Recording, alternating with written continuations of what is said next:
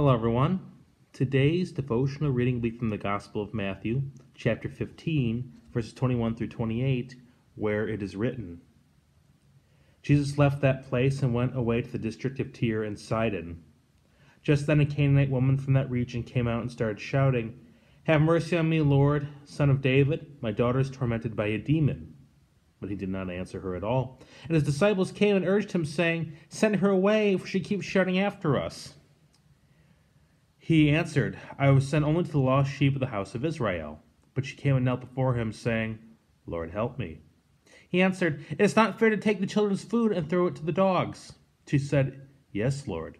Yet even the dogs eat the crumbs that fall from their master's table. Then Jesus answered her, Woman, great is your faith. Let it be done for you as you wish. And her daughter was healed instantly. This is the gospel of the Lord. Praise to you, O Christ. So, is Jesus being mean?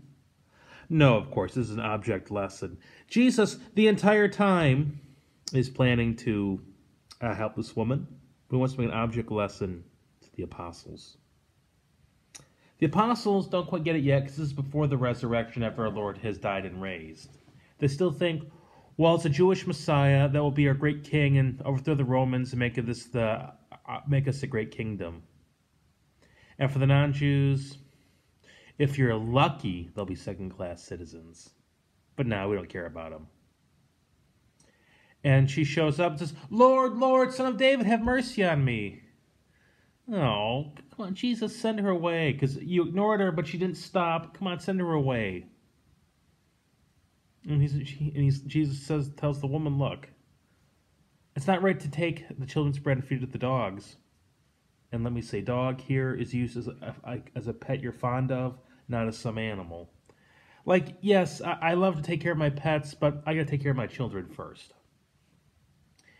And she's like, Yes, Lord, but even the dogs, the pet dogs eat the table scraps. Could the woman put up with being ignored? With other people saying, Shut up? Which is saying, Yeah, I, I'd like to help, but I can't. Lord, help. Yes, of course I'll help. Your faith has your faith is strong, your daughter is healed. That was Jesus Christ's plan the entire time. The lesson for us is that when we pray for something, when we truly desire something that's godly, it does not come right away. It comes with much time.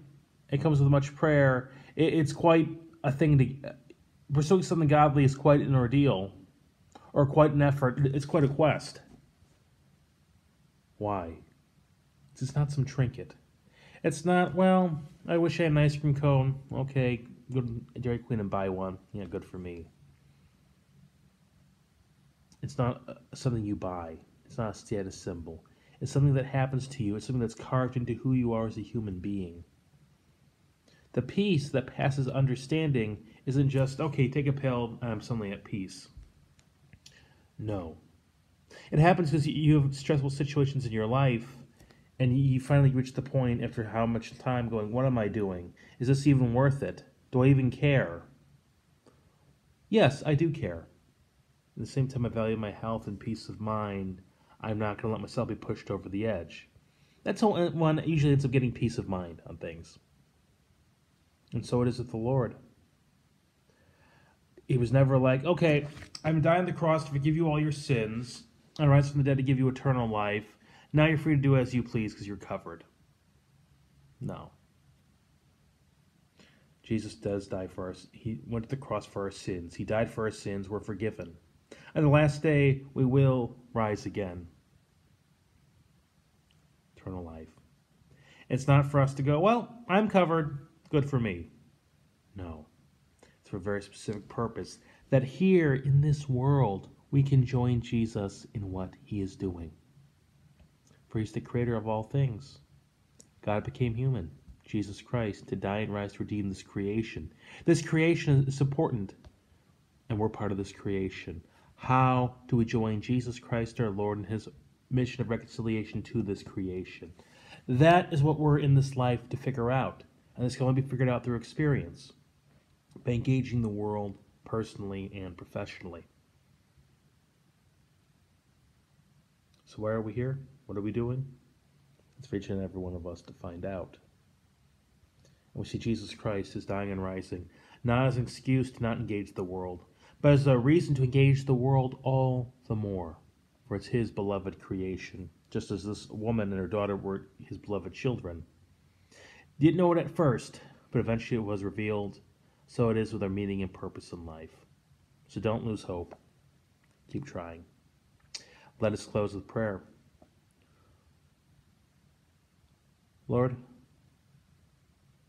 keep us from being discouraged. Give us your Holy Spirit and encourage us. And guide us now that we're your forgiven children to the life and mission you have us have in this world. Amen.